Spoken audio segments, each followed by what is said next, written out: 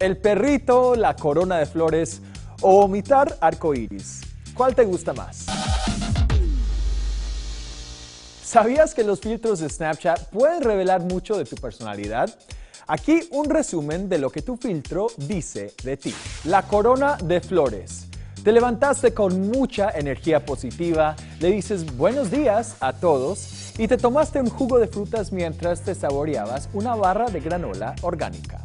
Face Warps. Tienes un muy buen sentido de humor y te gusta hacer reír a los demás. Aunque seas adulto, sigues siendo muy niño. The Nerd. Eres un gran amigo y no te molesta cuando los demás se burlan de ti. El perrito. Te encanta cuando la gente con perros te permite tocarlos. No eres egoísta y amas las películas románticas. El león elegante. Las tendencias y la moda te gustan. Alegras las fiestas y eres el primero en probar restaurantes nuevos. La corona rosada. Aunque no compras ropa de marca, todos tus amigos creen que sí.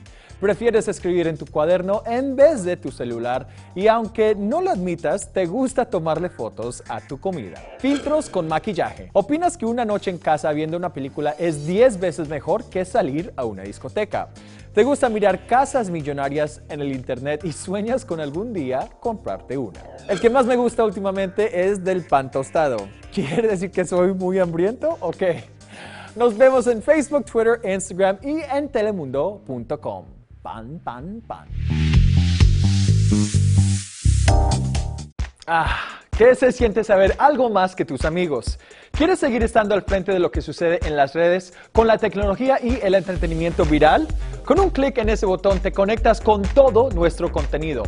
Un esfuerzo mínimo para seguir siendo el todo, ¿no crees?